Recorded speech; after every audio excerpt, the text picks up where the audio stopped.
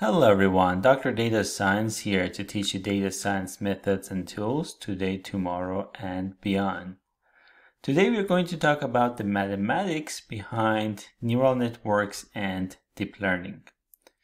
To get us started, let us define a threshold logic unit or what here I just call a unit. Each unit has two parts. The first part, as you can see here, is a weighted sum or combination of the inputs. So we have these connections, W1, W2, W3, and the inputs that here we call them X1, X2, X3. So what happens is that now each of these inputs will get multiplied by the corresponding weight, which is here, for example, X1, W1, X2, W2, and we add all of them together.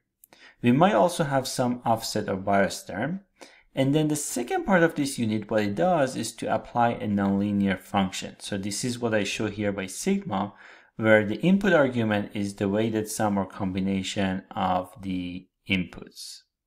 If you're familiar with logistic regression, which is a classifier, you know that in that case, this sigma or nonlinear function is the logistic or sigmoid function, which is 1 over 1 plus e to the negative a, which has this nice property that for whatever the input is, the output is always from 0 to 1, uh, and we can interpret this as a probability uh, value. So that's where what we use in the case of logistic regression. But in general, um, you know, as we're going to see later, um, this sigma can be any nonlinear uh, functions such as, for example, rectified linear unit or other cases.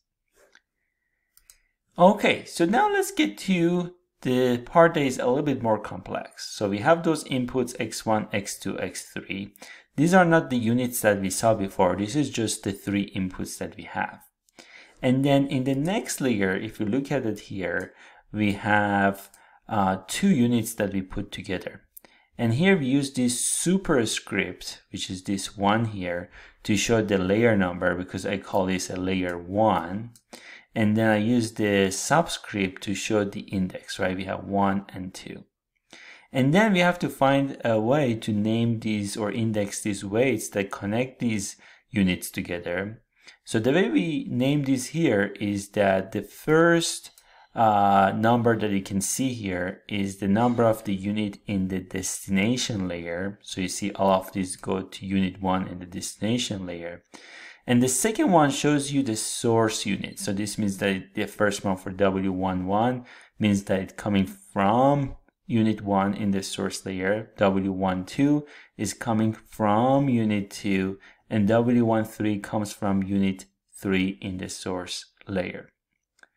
And using this strategy, now we can easily find these units that we have in the first layer. So we have A11 and A12, and you can see that now we have the weighted sum or combination plus some bias term. Uh, and if you look at it, the way that we did this naming here, so we have one here and one because this is basically each weight is multiplied by the input that is yeah, coming from the source layer. And you see we have two and two. So this is by intentionally designed to be like this so that it's easy to write down these expressions.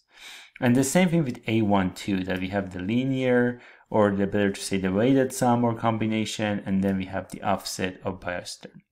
The key in machine learning, deep learning, neural networks is always being able to write things in a compact form, which means that we have to write things in terms of matrices and vectors. So how can we do this here? We're going to start with some inputs x.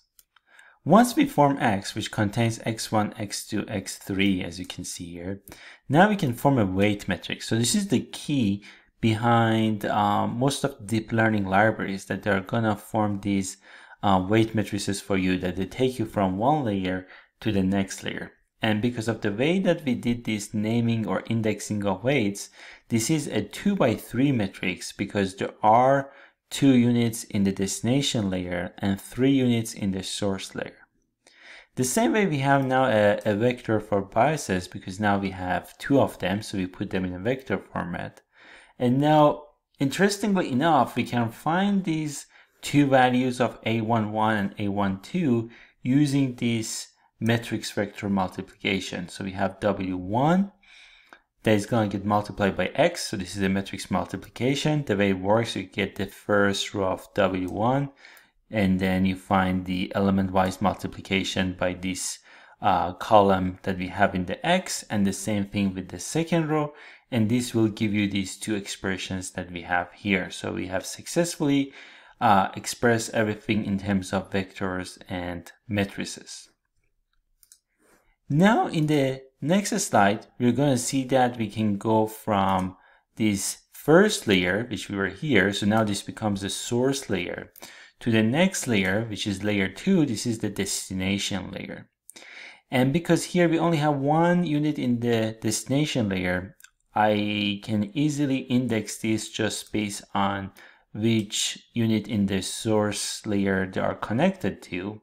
And we can find this weighted sum or combination and plus the bias term, which we have now this output value here for A2. And the reason we use the superscript 2 because now this is layer uh, 2 that we have.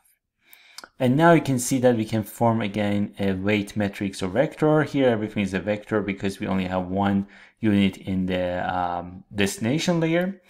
And so now you can see that uh, we can write everything in a compact form to find the output.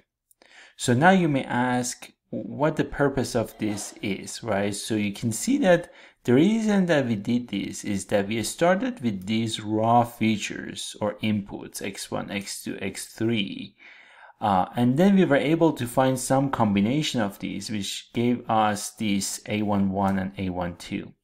And from now on, this part of the problem is exactly the logistic regression model that you have seen in more traditional machine learning problems. So the idea is that what this neural network does is basically finding better features to solving a classification problem in a data-driven way because once we talk about how to find these weights or connections, these are very important because we are not setting these values and this is actually what we learn from data. But you can see here the big picture that we have this uh, first part of the network, which is a feature extractor, and then the second part, which performs classification.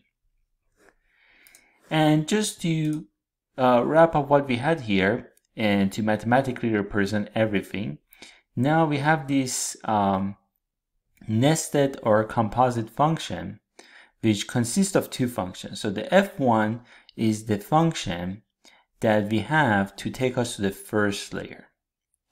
And then once we find this, now we have this F2 that takes us from the first layer to the second layer or output layer.